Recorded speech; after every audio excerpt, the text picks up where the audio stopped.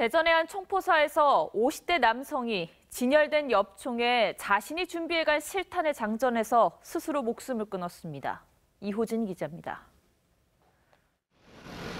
대전의 한 총포사. 51살 광모 씨가 이곳에서 스스로 목숨을 끊은 건 오늘 오전 11시 30분쯤.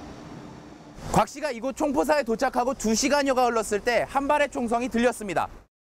뭐빵 하는 소리만 들었는데 그 이후에 막 경찰차고 소방차가 와서 이쪽을 딱 막아버려서 슈퍼마켓을 운영하는 곽 씨는 구경하겠다며 진열장에서 엽총을 꺼낸 뒤 총포사 주인이 한눈을 파는 사이에 직접 준비해간 실탄을 총에 장전해 자신에게 발사했습니다.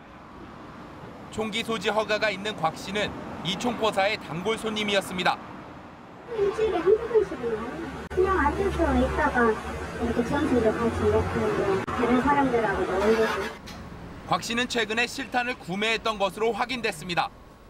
실탄 구매가 적법 절차에 의해서 구매되었고 200발 이하로 소지가 가능한 상태였습니다. 경찰은 곽 씨가 스스로 목숨을 끊은 것으로 보고 정확한 사고 경위를 조사하고 있습니다. TV조선 이호진입니다.